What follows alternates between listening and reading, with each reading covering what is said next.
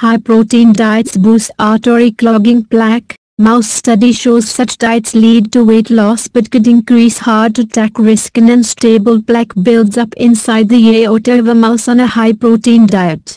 A new study from Washington University School of Medicine in St. Louis reveals how high-protein diets increase atherosclerosis, especially unstable plaque that increases the risk of a heart attack. Immune cells called macrophages, which try to clean up the plaque, are shown in red. An important protein called mTOR is in green. Where mTOR is activated inside macrophages is shown in yellow areas. The teal area in the center indicates dying macrophages. High-protein diets may help people lose weight and build muscle, but a new study in mice suggests they have a downside, they lead to more plaque in the arteries. Further, the new research shows that high-protein diets spur unstable plaque, the kind most prone to rupturing and causing blocked arteries. More plaque buildup in the arteries, particularly if it's unstable, increases the risk of heart attack. The new study, by researchers at Washington University School of Medicine in St. Louis, appears the 23rd of January in the journal Nature Metabolism.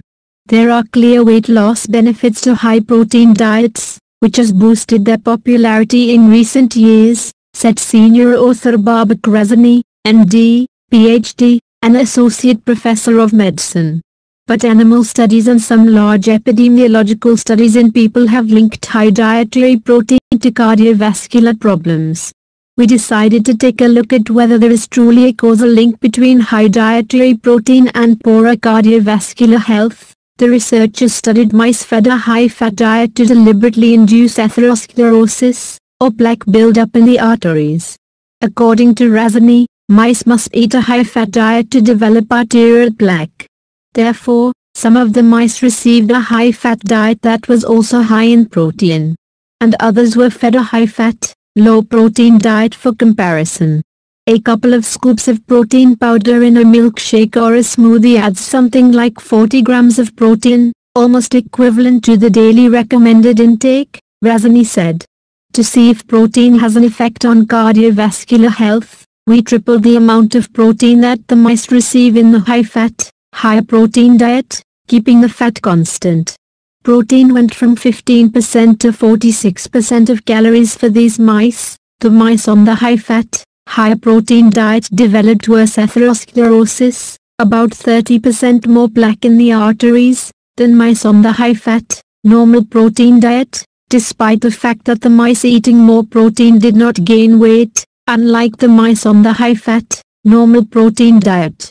This study is not the first to show a telltale increase in plaque with high-protein diets, but it offers a deeper understanding of the impact of high protein with the detailed analysis of the plaques, Razani said. In other words, our study shows how and why dietary protein leads to the development of unstable plaques. Plaque contains a mix of fat, cholesterol, calcium deposits and dead cells. Past work by Razani's team and other groups has shown that immune cells called macrophages work to clean up plaque in arteries.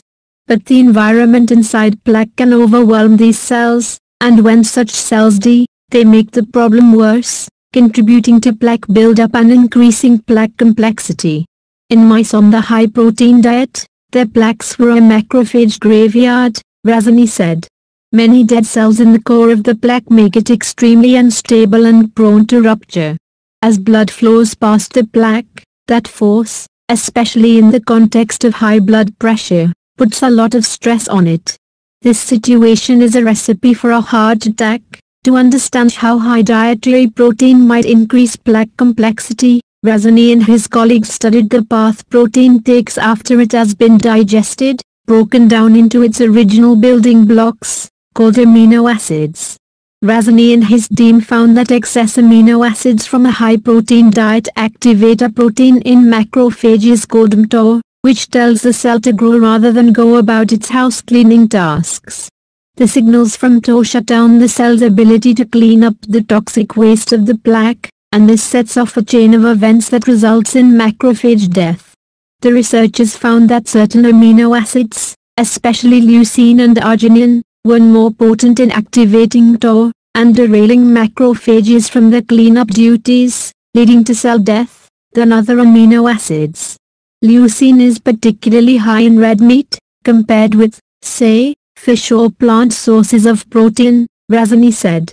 A future study might look at high-protein diets with different amino acid contents to see if that could have an effect on plaque complexity. Cell death is the key feature of plaque instability.